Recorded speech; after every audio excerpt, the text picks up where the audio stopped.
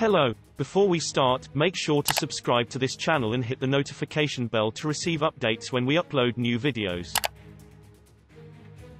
From recognition to deployment in the blink of an eye.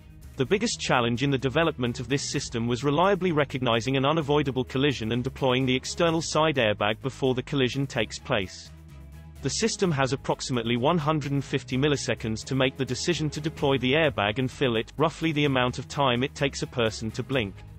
The vehicle's sensors first have to identify a potential impact quickly and accurately.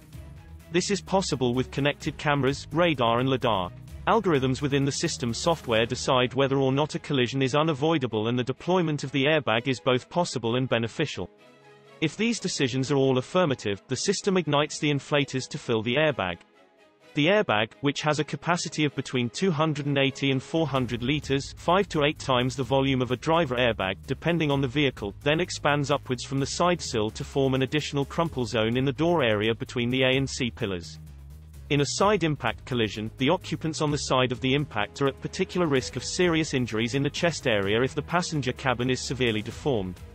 The ZF pre-crash safety system can reduce the penetration of the intruding vehicle by up to 30%, helping to significantly reduce the occupant's risk of injury.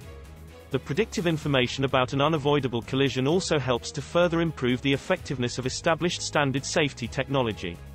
For example, the active control retractor can warn the occupants or help secure them in a safe position in the critical fractions of a second before the collision. Thank you for watching, and don't forget to like, subscribe, and share this video. Subscribe to Auto TV.